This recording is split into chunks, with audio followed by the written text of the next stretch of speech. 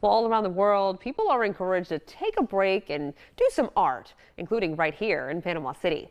News 13's Ethan Logue joining us live one last time from Floriopolis to tell us about Art Break Day and how you can celebrate it. Good morning. Good morning, Kelsey. And uh, hey, check this out. Like you saw in about 20, 30 minutes ago, I was working on a little project myself, and look how much progress I made. Hey, that's that's pretty good, right? Well, full honestly, no, I didn't really I didn't really make any improvements. I kind of just kept it the way it was, and that's mainly because I got distracted talking to Lois and Pat about Art Break Day, which again is today, totally free event from 12 to 6 here in St. Andrews. A lot of shops and local businesses getting involved today. So, Pat, first and yes. foremost, again, for people who may not know a lot about Art Break Day that's being celebrated worldwide today, worldwide. what is it and what can you do? It is an afternoon where you can indulge yourself in every kind of art. It's um, put yourself in a painting.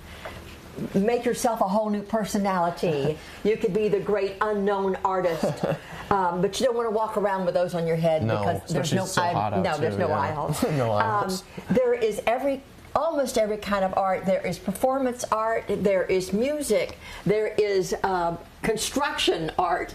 Um, and, and we encourage everyone to come. And if you have art that you love, something that gives you joy, bring it with you, set yourself up, share it with the world, share it with everyone who's walking around.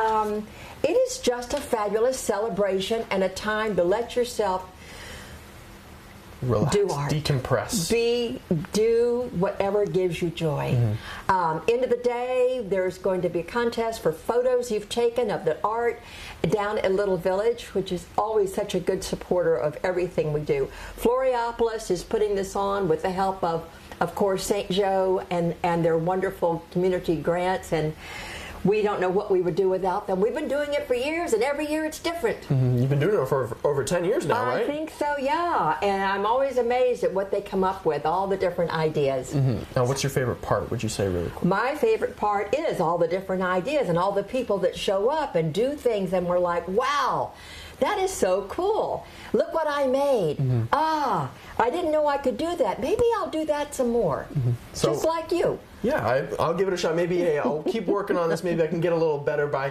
the end of the day today. Really show off my talent. A little bit of just you know drawing in between the lines.